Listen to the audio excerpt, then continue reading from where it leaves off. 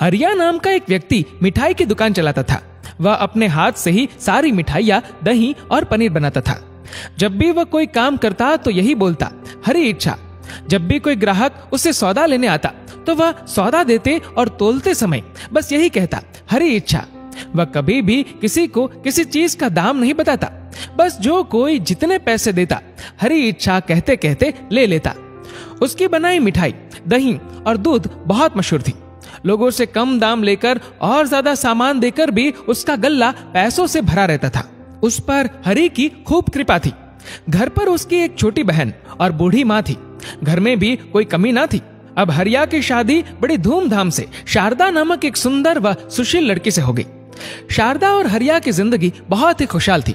हरिया बहुत ही भोला भाला और सीधा आदमी था। उसने कभी भी किसी से ऊँची आवाज़ में बात नहीं की थी। घर में भी वह अपनी माँ, बहन और बीवी से बहुत ही प्यार से बात करता था। लड़ाई झगड़े का तो उसके घर में कभी नाम भी नहीं लिया गया था। एक दिन हरिया दुकान जाने में थोड़ा सा लेट हो गया तो घर से खाना खाकर नहीं गया। हरिया की माँ ने शारदा को कहा कि तुम दुकान पर हरिया को खाना दे आओ। शारदा दुकान पर खाना देने गई तो उसने देखा कि हरिया कभी किसी को ज़्यादा सौदा तोल कर दे रहा है और कभी किसी से कम पैसे ले रहा है। उसको ये बात समझ ना आई। उसने सोचा कि हरिया भोला भाला है तो सब लोग उसको बेवकूफ़ बनाकर चले जाते हैं। उसने हरिया से कहा कि ये कैसी दुकान चला रहे हो? हरिया बोला कि हरी इच्छा से। शारदा बोली, ऐसे भी कोई व्यापार करता है? तुम्हें तो काम ही नहीं करना आता। कल से तुम दुकान पर नहीं जाओगे। मैं तुमको बताऊँगी कि काम और व्यापार कैसे किया जाता है। इस पर भी हरिया हर बार की तरह बोला, जैसे हरी इच्छा।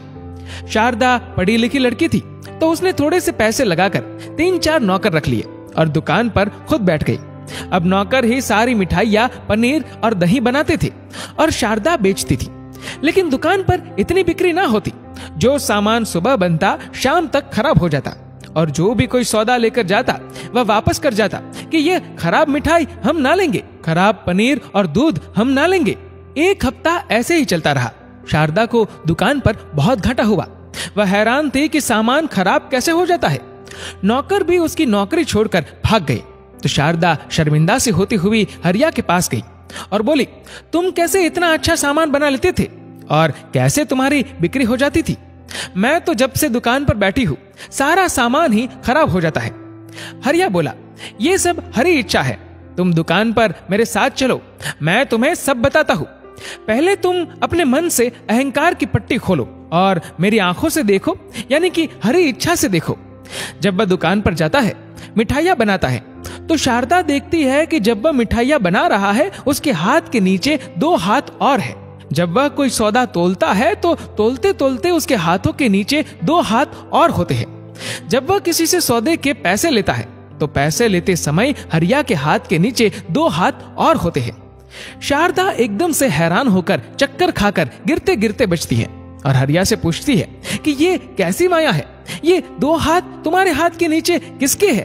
तो हरिया बोला, जब मैं छोटा था तो मेरी माँ ने मेरा नाम हरिया रखा था। ये दो शब्दों के मेल से बना है, हरि और आ, जिसका अर्थ है हरि आओ, और जब से हरि मेरे पास आए हैं, तब से वह गए ही नहीं। ये दो हाथ तो उस हरि के हैं, यही सच्चा सौदा करते हैं।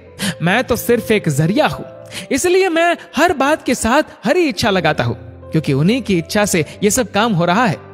शारदा ये सुनकर अपने पति के कदमों में गिर पड़ती है। कहती है कि मैंने आप पर नहीं, बल्कि उस हरि पर शक किया। मुझे माफ़ कर दो। आज से मैं भी आपके साथ उस हरि की शरण में हूँ। दोस्तों, इस वीडियो को लेकर आपकी क्या राय है? नीचे कमेंट करके ज़रूर बताएगा। और अगर वीडियो अच्छा लगा हो तो इस वीडियो को लाइक करेगा, शेयर करेगा ज़्यादा से ज़्यादा लोगों तक। और ऐसे ही और भी इंस्पिरेशनल वीडियोस के लिए सब्सक्राइब करें हमारे यूट्यूब चैनल को और फेसबुक पर। फॉलो करें हमारे पेज को। धन्यवाद।